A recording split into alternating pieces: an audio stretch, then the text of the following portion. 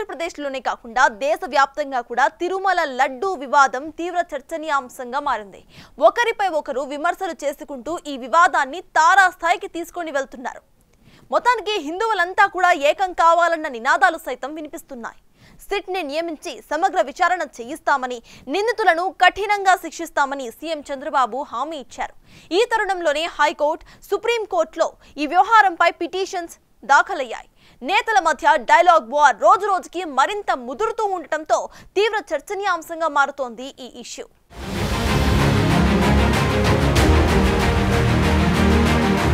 తిరుమల శ్రీవారి లడ్డు వివాదం ఏపీ రాజకీయాలను కుదిపేస్తోంది. వైసీపీ టీడీపీ నేతలు ఒకరిపై ఒకరు విమర్శలు చేసుకుంటూ ఈ వివాదాన్ని తారాస్థాయికి తీసుకొని వెళ్తున్నారు.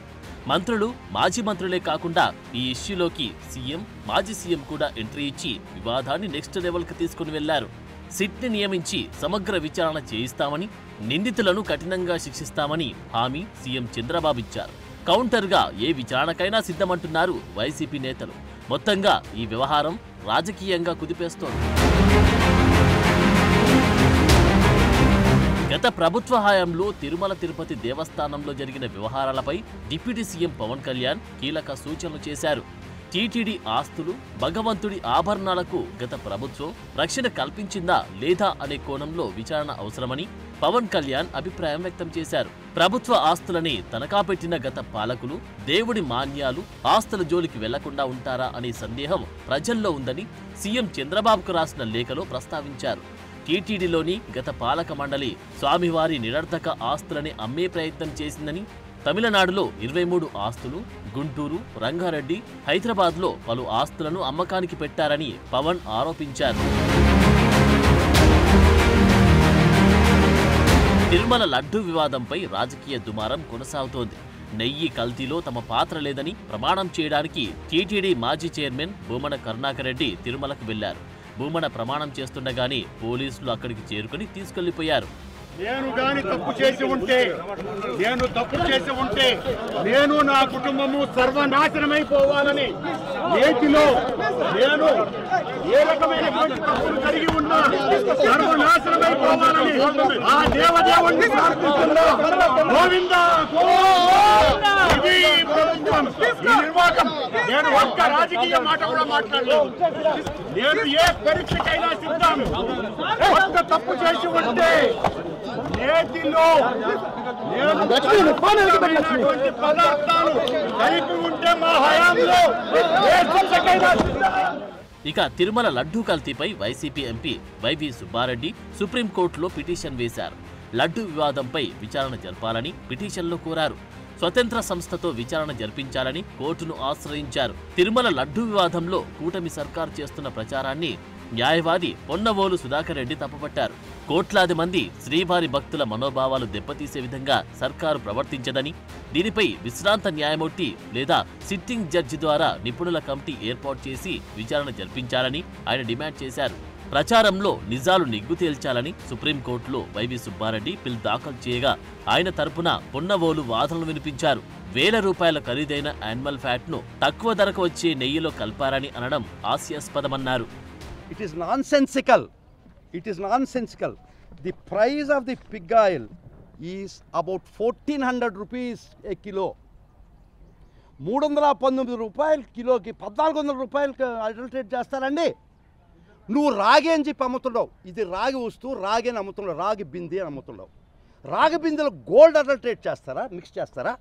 పోనీ గోల్డ్ దానిలో రాగి కలపచ్చు మూడు వందల పంతొమ్మిది రూపాయలు ఇచ్చే నెయ్యికి పద్నాలుగు వందలు ఇచ్చే రూపాయలు అయ్యే కిలో అయ్యే ఎనిమల్ ఫ్యాట్ కలిపారంటే అసలు ఇది తల్లో తెలివి ఉండే ఆలోచనేనా? ఇది మనిషికి ఆలోచించాల్సిన పని ఉందా? I will show it I will show it the price of animal fat pig oil in the country then fish oil. Fish oil వచ్చి వేల వేల రూపాయలు ఉంది వంద రోజుల తప్పిదాలను కప్పిపుచ్చుకునేందుకే లడ్డు గురించి దుష్ప్రచారం చేస్తున్నారని మాజీ మంత్రి కాకాని గోవర్ధన్ రెడ్డి కామెంట్ చేశారు. లడ్డు గురించి విచారణ జరపాలని ప్రధాని మోడీకి జగన్ లేఖ రాశారని అన్నారు. ఏవో శ్యామలరావుని కీలు బొమ్మలా మార్చి చంద్రబాబు ఆడిస్తున్నాడని మండిపడ్డారు. జూన్లో ఎవరి ప్రభుత్వం ఉంది? ఒకవేళ ఆ నెయ్యిని జూన్ జూలైలో వాడి ఉంటే తప్పు ఎవరిది అని ప్రశ్నించారు. భక్తుల మనోభావాలతో ఆడుకుంది చంద్రబాబు కాదా అని దుయ్యబట్టారు. పిల్లనిచ్చినటువంటి మామకు వెన్నుపోటు పొడిచినటువంటి చంద్రబాబు చివరికి కలియుగ దైవం వెంకటేశ్వర స్వామిని కూడా విడిచిపెట్టకుండా ఆయన్ని కూడా అడ్డు పెట్టుకొని నీచమైనటువంటి రాజకీయాలకు పాల్పడేటువంటి పరిస్థితి రావడం నిజంగా దౌర్భాగ్యం. కాబట్టి ఈరోజు నువ్వు మాట్లాడావు. నేను శ్యామలరావును పెట్టి దానిని ప్రక్షాళన చేయడానికి పూనుకున్నానని శ్యామలరావును పెట్టి ప్రక్షాళన చేయడానికి పూనుకున్నావా? శ్యామలరావు లాంటి అధికారిని పెట్టి ఆ దేవాలయానికి లేనిపోని ఉన్నటువంటి పవిత్రతను చెడగొట్టి అపవిత్రతను అంటగట్టడానికి ఈరోజు నువ్వు ప్రయత్నం చేస్తున్నావు అనేటువంటి దాని మీద స్పష్టత ఇవ్వాల్సినటువంటి అవసరం ఉంది. కోట్ల మంది భక్తులకు సంబంధించి ఈరోజు వాళ్ళ మనోభావాలు గాయపడ్డాయి దెబ్బతీశారు. మీ హయాంలో జరిగినటువంటి అవకతవకల మీద మీరు కేంద్ర బిందువు అవుతున్నారు.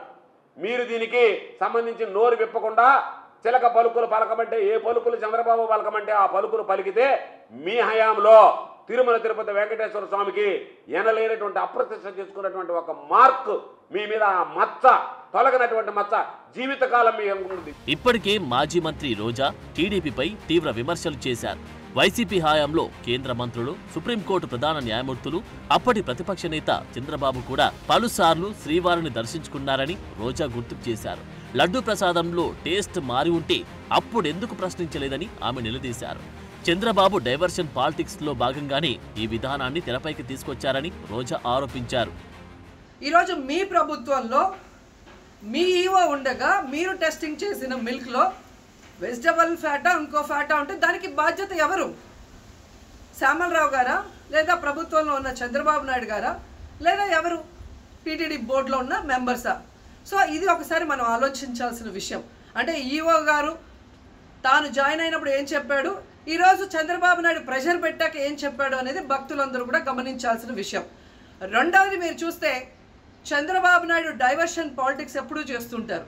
అలాగే ఈరోజు ఆ తిరుమల కొండ మీదకి జగనన్న అధికారంలో ఉన్నప్పుడు మోడీ గారు వచ్చారు అమిత్ షా గారు వచ్చారు ఎక్స్ సీజే రమణ గారు వచ్చారు ప్రజెంట్ సీజే గారు వచ్చారు. అంతెందుకు చంద్రబాబు నాయుడు ఫ్యామిలీతో సహా వెళ్ళాడు. పవన్ కళ్యాణ్ గారు వెళ్ళారు.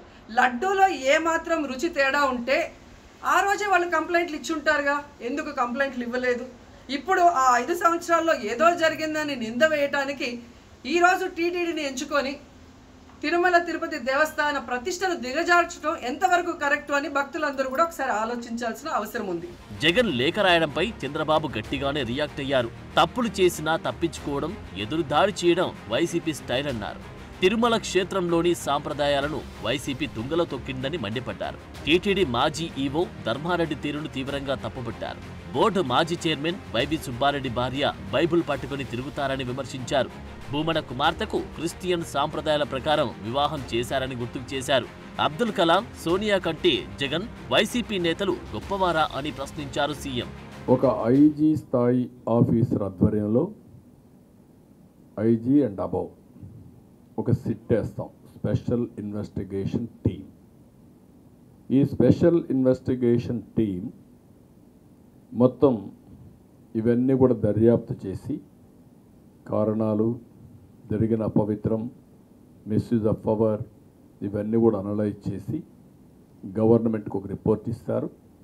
దానిపైన గవర్నమెంట్ చాలా కఠినంగా యాక్షన్ తీసుకొని తద్వారా భవిష్యత్తులో ఇలాంటి జరగకుండా ఏమేం చేయాలనో అవన్నీ చేస్తాం. దెర్ ఇస్ నో కాంప్రమైజ్ మరోవైపు తిరుమలలో ప్రాయచిత కార్యక్రమం ముగిసింది. శ్రీవారి లడ్డులో కల్తీ నెయ్యి కలవడంతో టీటీడీ అధికారులు సంప్రోక్షణతో పాటు శాంతి హోమం నిర్వహించారు. ఉదయం ఆరు గంటల నుంచి పది గంటల వరకు ఆలయంలో యాగం నిర్వహించారు.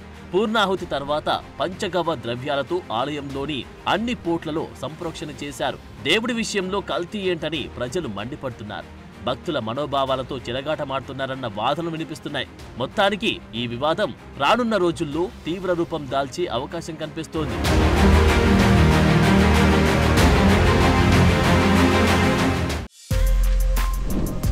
For more videos like this, subscribe Big TV channel.